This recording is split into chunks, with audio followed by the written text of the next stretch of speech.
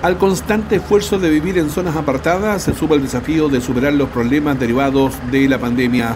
Pero no es tan solo eso. Para quienes habitan en la provincia de Valena, el alto precio de las bencinas es un verdadero dolor de cabeza que se torna difícil de sobrellevar. Vivir alejado de los grandes centros urbanos parece más un castigo que un alivio para quienes necesitan el combustible como elemento para desarrollar su labor y con ello llevar el sustento a sus familias. Y eso tiene que ver mucho también con lo que podemos llamar la cadena de costo de traslado del combustible. ¿En qué significa esto? O sea, Futalufú, Chaitén se abastecen de la planta de Chacabuco a 400 kilómetros y todo ese costo finalmente lo paga el usuario. En el caso de Gualaigüe se alimenta de la planta de, de Pureo, en el caso de Calbuco, pero además tenemos un problema que es el alto costo del viaje especial de la barcaza entre Puelche y la Arena.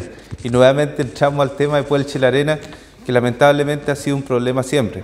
Para quienes habitan en la zona y representan las necesidades e inquietudes de la población, existen alternativas que pueden lograr una baja en los valores de los combustibles. En la nueva licitación Puelche La Arena logramos que se baje también el costo de los viajes especiales que paga combustible, que paga el gas.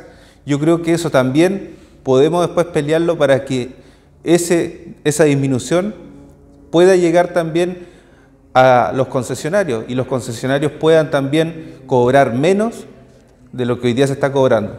El análisis hoy día que, que uno puede hacer y de acuerdo a lo que he ido sondeando, en el puro transporte para llegar con el combustible a nuestra zona anda entre los 70 y 80 pesos. Y, y en el caso de Gualaigüe, la mitad aproximadamente corresponde al flete que se paga en el transporte entre Puelche y La Arena. Si logramos subsidiar eso de mejor forma y que quede establecido que los viajes especiales pagarán menos, yo creo que también eso puede ser una medida posible. Parlamentarios de la zona han alzado su voz por los altos precios de la gasolina y anuncian que continuarán impulsando un proyecto que ya fue aprobado en primera instancia y que se espera siga su curso normal legislativo. Ya que el gobierno no tomó la iniciativa y hizo valer su facultad de poder congelar los precios en estados de excepción como los que vivimos hoy día en medio de esta crisis sanitaria y económica, es que se ingresó un proyecto a la Cámara de Diputados donde se pide rebajar un 50% el impuesto específico a los combustibles en este estado de catástrofe.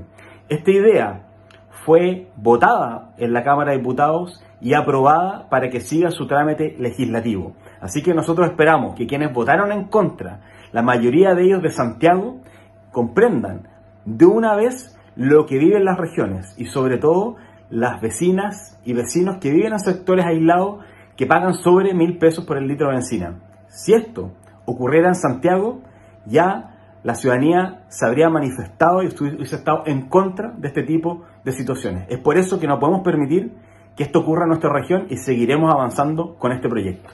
Junto al valor de los combustibles, preocupa también el aumento en los precios del gas, elemento de calefacción esencial en los hogares y que sobre todo en invierno se hace necesario ocupar.